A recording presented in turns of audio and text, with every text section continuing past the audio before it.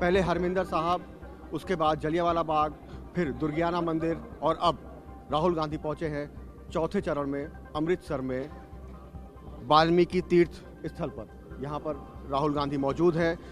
खुद सीएम चन्नी, जो कि दलित समाज से आते हैं, राहुल गांधी ने उन पर दांव लगाया है।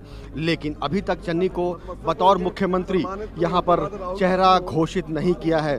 बड़ा सवाल यही है कि क्या राहुल गांधी, जैसे 2017 में उन्होंने कैप्टन अमरिंदर सिंह को घोषित किया था, मुख्यमंत्री का चेहरा, क्या इस बार भी ऐसा कुछ होने जा रहा है? या फिर अब तक जो कांग्रेस कहती आई है कि वो सामूहिक नेतृत्व में चुनाव लड़ेगी, इसी दिशा में कांग्रेस आगे बढ़ेगी?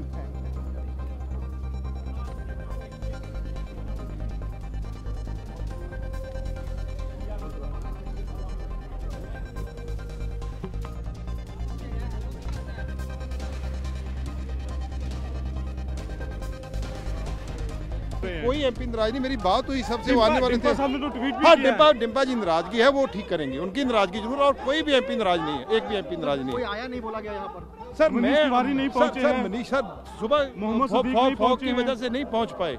मोहम्मद सदीक अपने क्षेत्र में है। और अमर सिंह जी अपने क्षेत्र में है। चौधरी बात हो गई हैं, सबसे बात हुई बात हो गई मेरी बात हुई है मैं मैं बैठा हूँ। आप क्या कहते हैं? डिम्पा के अलावा? बाकी सब ठीक है। वो वो थोड़े नाराज़ है वो उनको ठीक हो जाएँगे। निज़ाम मजीठिया आपके सामने। मैं क्या वेलकम आपके सामने रहे हैं क्या कहेंगे sir? Welcome welcome sir captain साहब कह रहे हैं कि सिद्धू सिद्धू की जमानत जब्त हो जाएगी। उन्होंने पाँच चार बार करवाई है एक्सपीरियंस है उनको।